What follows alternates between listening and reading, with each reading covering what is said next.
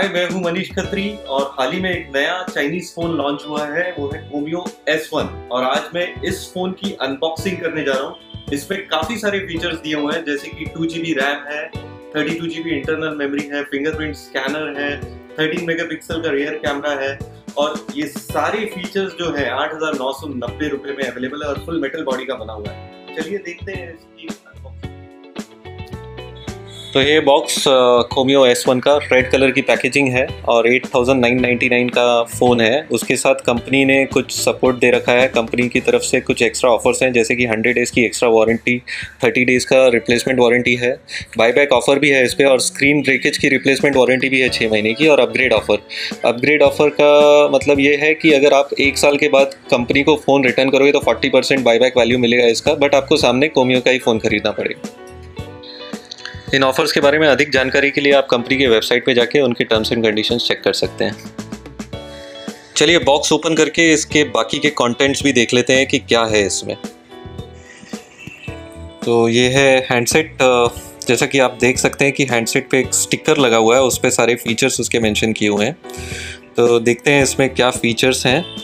तो ये जो है 13.2 centimetre that is 5.2 high definition IPS display है फिंगरप्रिंट सेंसर है 13 मेगापिक्सल कैमरा है बैक और फ्रंट 8 मेगापिक्सल कैमरा है 2700 एमएएच की बैटरी है इसमें। पीछे की ओर जो कैमरा है वो ड्यूअल कैमरा लगता है बट ड्यूअल कैमरा नहीं है लाइट सेंसर है। फ़ोन मेटल यूनिबॉडी का बना हुआ है डिज़ाइन काफ़ी अच्छा है। और इसके बाकी के कंटेंट्स देख लेते हैं हम क्या है। इसमें एज यूजल यूज़र गाइड और वारंटी कार्ड और uh, इसके अलावा आपको स्क्रीन प्रोटेक्टर भी साथ में कॉम्प्लीमेंट्री आता है। और uh, एक बैक कवर सिलिकॉन केस वो भी साथ में दिया हुआ है। सिलिकॉन केस जो है वो काफ़ी अच्छा क्वालिटी का है। डॉटेड सिलिकॉन केस है। और डेटा केबल है नॉर्मल जो आता है सिम इजेक्टर टूल ईयरफोन और चार्जर नीचे की ओर स्पीकर चार्जिंग यूनिट और ईयरफोन जैक है और ऊपर की तरफ़ होम की जो है, वो फिंगरप्रिंट सेंसर का भी काम करती है। राइट साइड में वॉल्यूम की और पावर ऑन ऑफ़ बटन है, ऊपर की ओर कुछ नहीं है। पीछे 13 मेगापिक्सल का कैमरा है विद दी फ्लैश लाइट और जैसा कि मैंने कहा, ये मेटल बॉडी का बना हुआ है, इसका डिज़ाइन काफ़ी अच्छा है। दिखने में काफ़ी खूबसूरत फ़ोन है।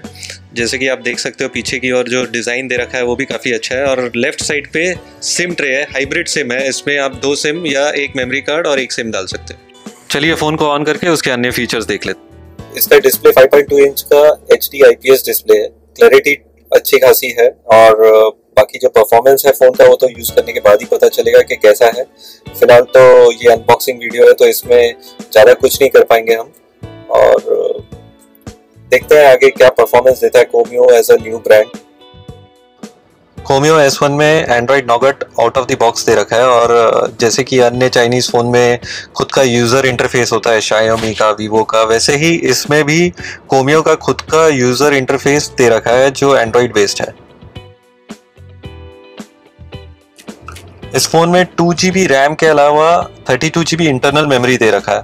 तो काफ़ी इनफ हो जाता है thirty two G B for a phone within ten thousand काफ़ी अच्छी मेमोरी दे रखी है।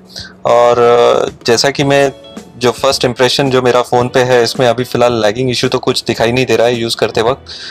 बट जैसा कि मैंने कहा कि जब तक पूरी तरह से फ़ोन यूज़ नहीं करेंगे इसका कुछ पता नहीं चलेगा। बट एज ऑफ़ नाउ ठीक ठाक है।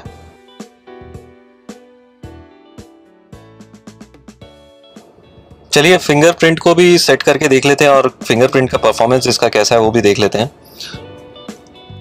ये फिंगरप्रिंट को अच्छे से रिकग्नाइज कर रहा है, कोई दिक्कत नहीं है।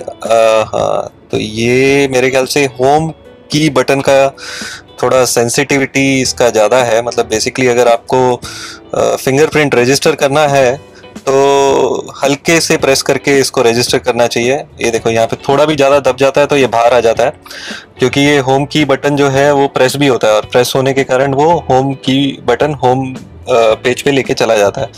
तो इसे फिंगरप्रिंट को अगर आपको सेट करना है तो बहुत ही हल्के हाथ से सेट करना पड़ेगा। तो यहाँ मुझे ध्यान रखते हुए बहुत ही हल्के हाथ से सेट करना है। तो फिंगर को तो अच्छे से रिकग्नाइज कर रहा है, उसमें कोई डाउट नहीं है। तो ये हो गया सेट अब ये लॉक करके ऑन करने पे एकदम इजीली रिकग्नाइज कर रहा है। चलिए कैमरा का भी टेस्ट कर लेते हैं छोटा सा तो आप देख सकते हैं स्क्रीन पे ये इसकी कैमरा की क्लैरिटी है। ठीक ठाक सी कैमरा क्लैरिटी है इसमें। इस पर मैं ज़्यादा कमेंट नहीं करना चाहूँगा बट कैमरा क्वालिटी ओके है। और इसमें बोके मोड भी दे रखा है बट जैसे ही हम बोके मोड को ऑन करते हैं तो कैमरा थोड़ा स्लो हो जाता है। तो इसमें थोड़े इम्प्रूवमेंट्स कंपनी कर सकती है शायद सॉफ्टवेयर अपडेट करके। तो ये थी इसकी अनबॉक्सिंग 8990 में ये काफ़ी अच्छा फ़ोन निकाला है। दिखने में काफ़ी खूबसूरत फ़ोन है और फीचर्स भी इसके ठीक ठाक से हैं।